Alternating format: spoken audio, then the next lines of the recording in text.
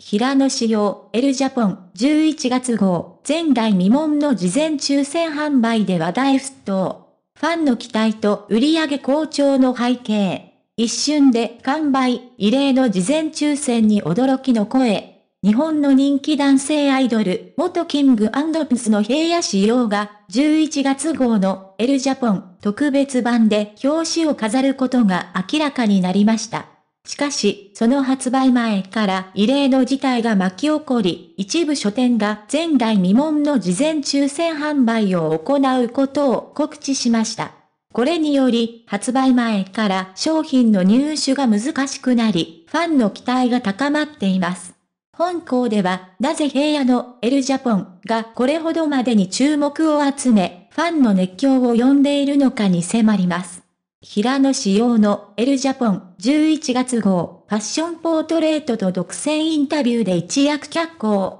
平野仕様はジャニーズ事務所を退場してから初となるメディア露出としてエルジャポン11月号特別版の表紙を飾ります。これには彼の個性的で洗練されたファッションセンスや多岐にわたる才能が注目されています。特集では平野がルイ・ヴィトンのジャケットやニットなどをまとったファッションポートレートが掲載され、なんと9ページにわたる独占インタビューも行われる予定です。この内容が一部で明らかにされると、ファンたちは発売前からお祭り騒ぎ状態となり、雑誌の注文が殺到しました。平野の新たな活動の用紙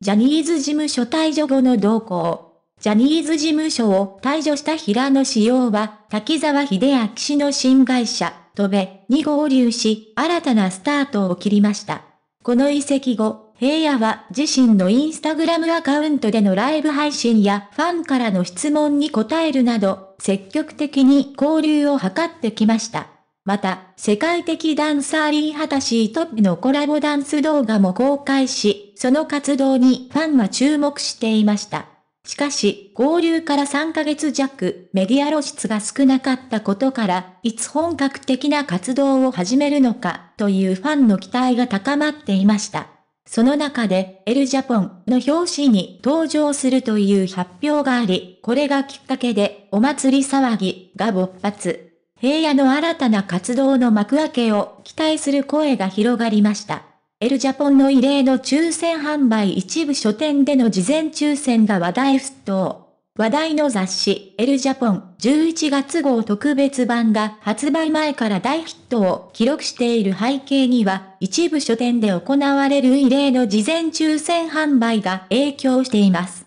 例えば、梅田塚屋書店では、発売日の28日に9時から9時30分までの間に集合し、その後抽選券を配布。10時30分になると、当選者のみが1人1冊、L ジャポンを購入できるという形式をとります。同様に、木の国屋書店流山大高の森店も25名に対する事前抽選を告知しており、各書店で異例の対応が行われています。各 EC サイトでも予約受付が行われていますが、一部では即日完売となり、発売日に手に入れたいファンたちにとって、書店への足を運ぶことが不可欠となりそうです。これが、エルジャポン11月号特別版が平野ファンの間でいかに大きな注目を集めているかを物語っています。平野仕様の表紙効果、キンプリとの際。平野志陽が雑誌の表紙を飾ると、それだけで大きな話題となり、売上好調につながるのは、ジャニーズ事務所在籍時から知られていることです。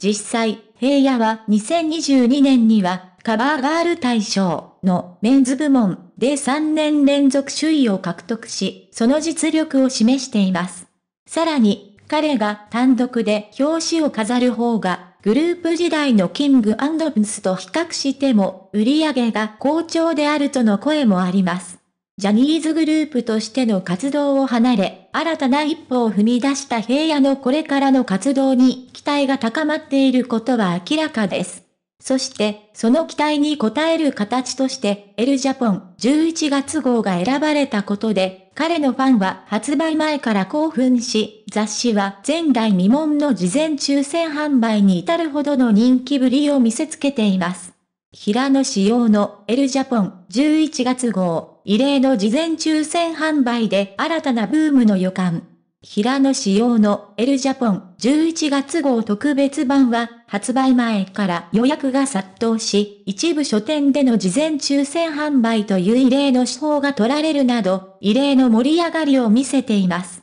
彼のジャニーズ事務所退所後の初メディア露出ということもあり、ファンたちはその新たな一面に期待と興奮を隠せません。一方で、これは平野仕様が表紙を飾るだけでなく、その活動がファンや一般の注目を集める表皮効果の象徴でもあります。キンプリ時代とは異なるスタイルで新たな一歩を踏み出した平野の今後の活動には、ますます注目が集まることでしょう。平野市用ファンやエンターテインメント業界の関係者にとって、これからの展開がますます楽しみな状況が広がっています。楽しみ。